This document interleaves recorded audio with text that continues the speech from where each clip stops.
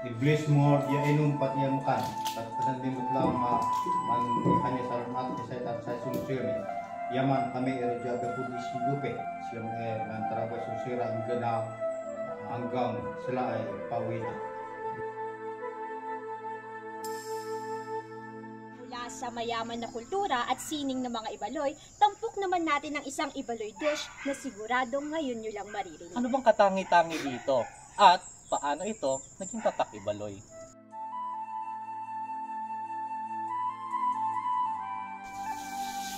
Lulot ngayon pa yung karne na may taba.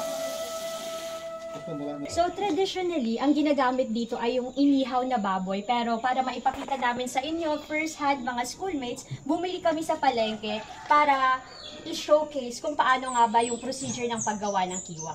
may namatay. Oo.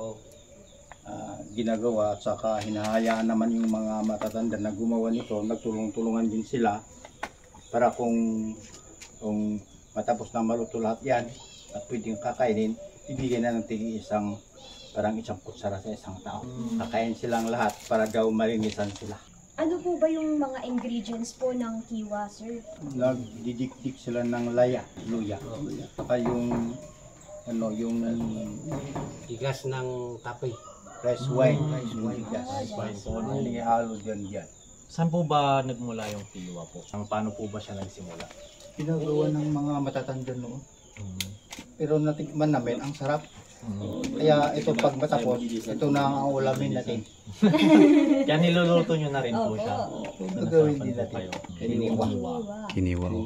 Ah, nalaman po namin parang nagtataboy daw po ito ng mga masasamang Ay, espiritu. oo.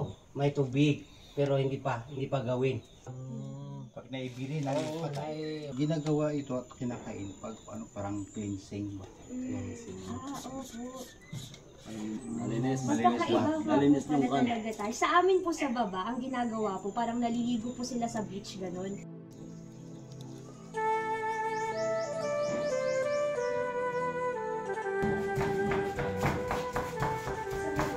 Eh, kaya nag-aaral ko na dyan eh. Oo, ako Diyos.